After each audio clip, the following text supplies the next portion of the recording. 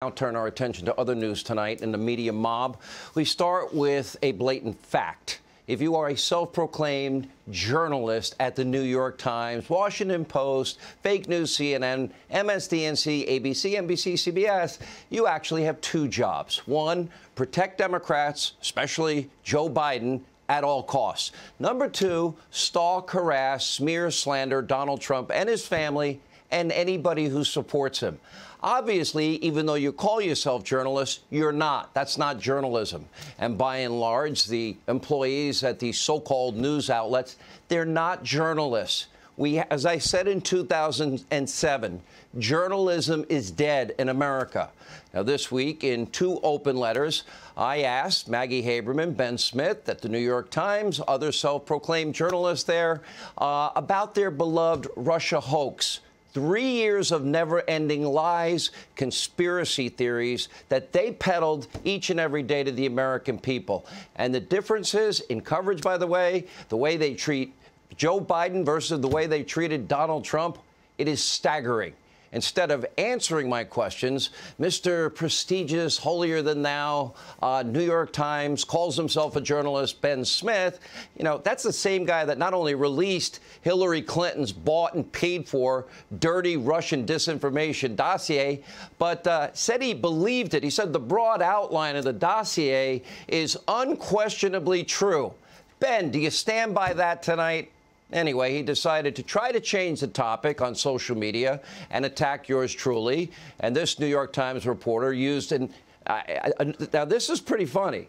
The New York Times, with all the prestige that they like to think that they have, they're now tweeting out from an account and using an account on Twitter that's called, their words, not mine, at Pop Bitch a Twitter account with 34,000 followers. Let me repeat the New York Times is now getting information and passing on information from a Twitter account called at Pop Bitch. You can't make this Adam Schiff up. Now, the big news is that some people at Fox apparently don't like me and said bad things about me gutlessly behind my back, according to Ben Smith, to members of the media mob. Ben, if that's true, that's called a normal day in the world that I live in. And here's a little secret for you, Ben, and all the liberals that hate watch this program every night. I don't care. I don't give a Adam Schiff about what anybody says about me. Been doing this show 25 years, 33 years in radio.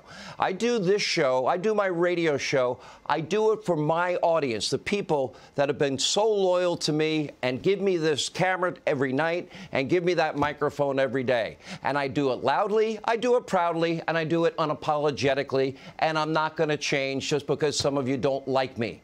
I'm open and honest about my conservative beliefs uh, and who I support. It's hardly a breaking news alert, Ben. And unfortunately, honesty and truth, that's not a priority for people at the New York Times like Ben and Maggie and, well, the rest of the media mob. Over the past five years, they got dozens and dozens and dozens of stories dead wrong. Sharyl Attkisson, she has a running list on her website. She's now up to, I think, 156 fake news stories and counting in 2020. Multiple outlets. Remember, they claim President Trump forcefully uh, cleared peaceful protest protesters out of Lafayette Park because he wanted a photo op. Well, the inspector general said that's fake news. The Washington Post, others claiming that the COVID lab leak hypothesis was nothing but a debunked conspiracy theory more fake news.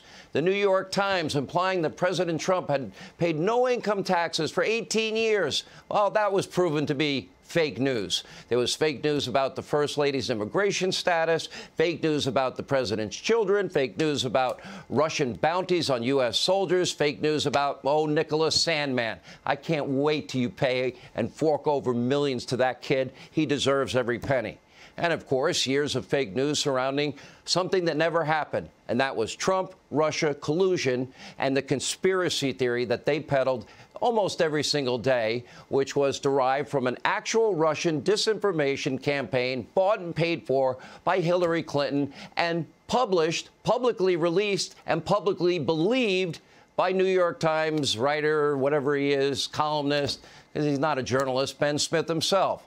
So, Ben, Maggie, the New York Times, and the other Russia collusion truthers in the media mob, let me ask you one more time. Do you still believe in the Russia hoax that you peddled to your audiences? Do you still think the Clinton Steele dossier is unquestionably true? Do you care about premeditated fraud that was perpetrated numerous times against the FISA court? Do you care, will you now admit uh, that candidate and then later President Trump was he illegally spied on because of Hillary's dirty Russian disinformation dossier and the lies told to the FISA court. Says at the top of a FISA application, verified. None of it was verifiable.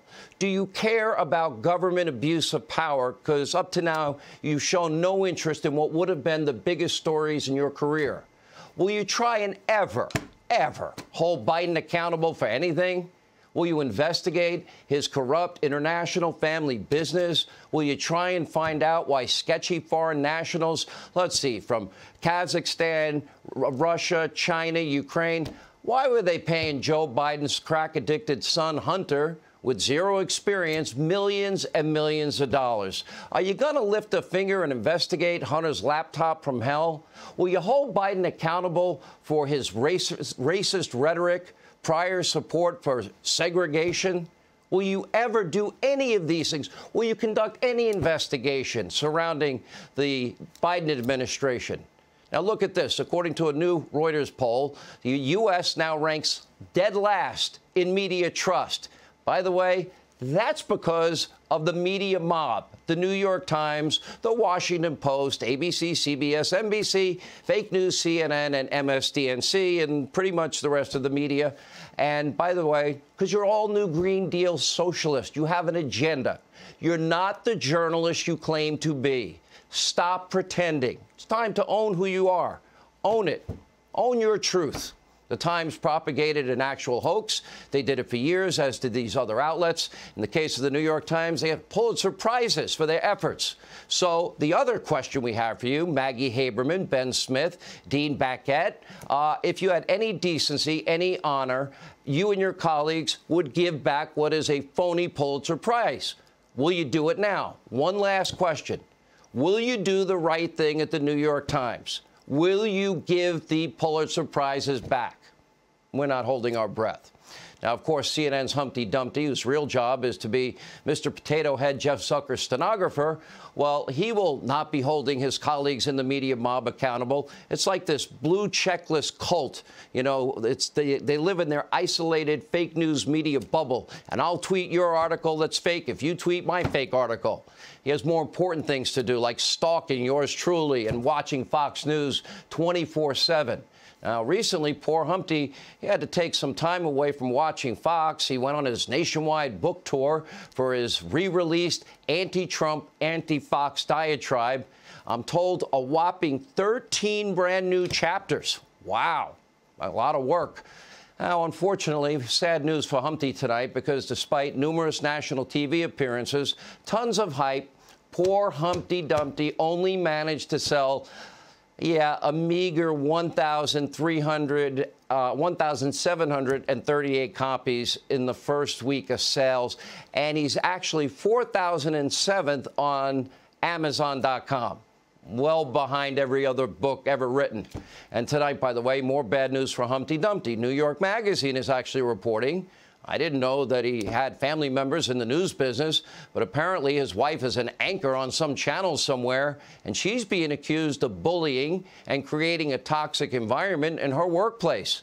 Now, here's the question Humpty Dumpty hosts a show about the media. I wonder if he will cover this big media story on his low rated media show.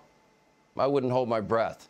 Now, ultimately, the Brian Humpty Dumptys of the world, the Maggie Habermans, the Ben Smiths of the world, everyone else in the media mob, they can cover whatever they want. It's a free country, freedom of the press, freedom of speech. I believe in all of it. I never support boycotts. I never call for cancellations.